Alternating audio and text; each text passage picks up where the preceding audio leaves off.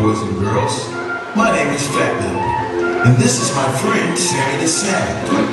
Today, we're going to teach you some fun facts about salmon and a brand new.